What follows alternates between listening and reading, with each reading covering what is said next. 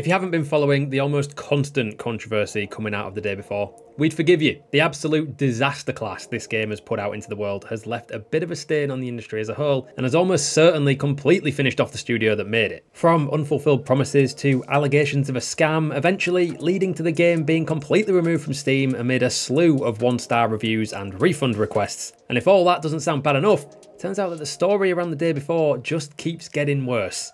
Let's, unfortunately, dive into it. As if promising a huge zombie shooter MMO and releasing a barely functioning derivative extractor shooter wasn't bad enough, it turns out things were allegedly a whole lot worse at Fntastic and for their team. The details around the development of the day before have always been a little bit sus and after an investigation by German game outlets GameStar and Game2, which were published this week, a light has been shone on a team that was working under absolutely soul-crushing crunch culture, unrealistic expectations, and even fines for failure to deliver work that was deemed acceptable. The findings were the result of a massive investigation from GameStar and Game2, who spoke with 16 former employees at Fntastic, as well as one volunteer. If you recall, there was more than a little backlash in November 2023 when it turned out that the beta for the game that Fntastic had been promising for a while would only be made available to those who volunteer for the developer, essentially people who are already working on the game or are helping Fntastic to develop it.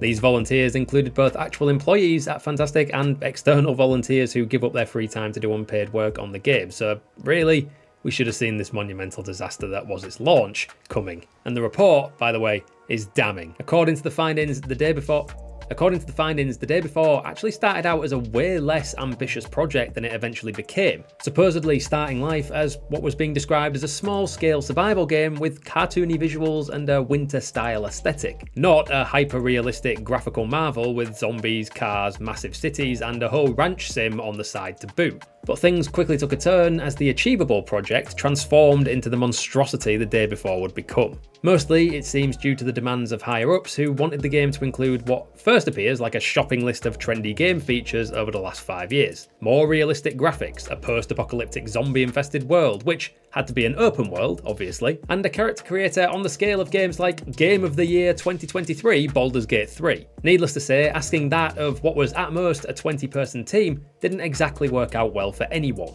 Now, if that seems like an unreasonable ask and likely to result in dev burnout and a general feel of ire around the game, then you'd be right. But unrealistic demands were only part of the problem, according to the sources in the report, with Fntastic founders Eduard and Asen Gotovtsev apparently the biggest source of stress and anxiety during development. The employees interviewed describe on-the-spot firings being used to motivate the team, including testers if the founders discovered a bug before they did, just one example of seemingly very innocuous and easy to fix mistakes that happen all the time in game dev resulting in firings or even in some cases fines being handed down for the most minor of errors. Sources in the report mention a story about two individuals who were asked to pay almost $2,000 for turning in what were called low quality voice recordings. Suffice to say, the efforts and the alleged strain Fntastic's development team were put under was and is wrong, and the day before clearly suffered because of it. Stumbling onto Steam on December 7th, the project lasted days before it was declared a financial failure, was pulled from all platforms, and refunds were eventually offered with the very apt final response from Fntastic, shit happens. The servers were permanently shut down on January 22nd, putting the final nail in the coffin of this ridiculous story. The day before is a perfect lesson in what can go wrong in the gaming industry in 2024. A tale of poor management, astronomically poor marketing decisions, and ultimately what looks like a dev team that was doomed to fail by decisions completely out of their control. The day before controversy just keeps getting worse, but fingers crossed, this is the last we ever hear about it.